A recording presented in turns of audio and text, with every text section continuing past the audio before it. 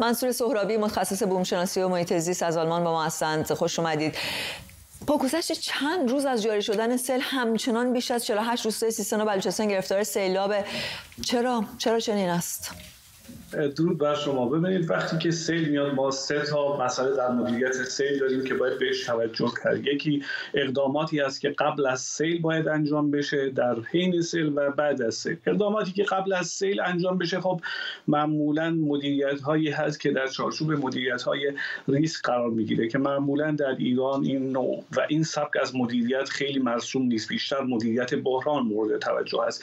باید مونیتورینگ بشه پایش بشه و سعی بشه که در جاهایی که امکان سیل هست خسارت کم و کمتر بشه. برای نمونه باید از جنگل زدایی ها از تخریب مراتع باید جلوگیری کرد و عملیاتی رو که برای کاهش خسارت لازم هست انجام داد و پایش کرد و پیش بینی کرد و بتونن هشدارهای لازم رو بدن. اینها قبل از سیل هست. در حین سیل هم تنها کاری که میشه کرد اینه که سعی کنیم که جان آدم هایی که در خطر هستن نجات پیدا بکنن و کمترین آسیب رو در این بخش در اون زمان داشته باشیم. بعد از سیل خب مستظر هستید. وقتی که سیل میاد و حجم سیلاب بسیار زیاد از دبی آب بسیار بالا از تخریب ها را داریم. جاده ها مسدود میشن خونه ها پر آب میشن.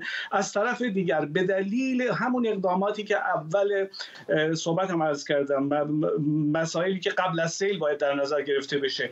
آمادگیشو ندارن. اقدامات لازمی که در آز آقای ما یکی از مشکلات بزرگ کشورمون در حال حاضر بحران بیابی و خشکیدگیه. از طرفی هم هر سال با همین بارش هایی که به سیلاب منجر میشه داریم دست و پنجه نرم می‌کنیم. آیا هیچ راهکاری وجود نداره که بشه استفاده بهینه کرد از این بارندگی هایی که میشه؟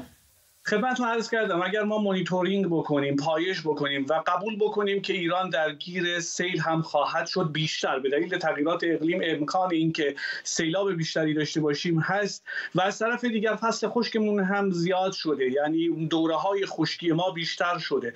می‌تونیم مدیریت بکنیم. وقتی که سیل با درگیرش هستیم میشه از پخش سیلاب استفاده کرد از تغذیه چاه استفاده کرد. تاسیسات لازم خودش رو می‌خواد. باید انحراف صورت بگیره و بتونن در جاهایی که امکانش هست آبها را به های آب زیرزمینی هدایت کرد. اما این که شما تصور بکنید مشکل آب ایران با این سیلاب ها از بین میره و بحران آب ما تموم میشه اینجوری نیست. الان بعد از این سیل هم نگاه بکنید. آمارهای حوزه های آبریز نه یک منطقه یا یک شهرستان یا یک استان.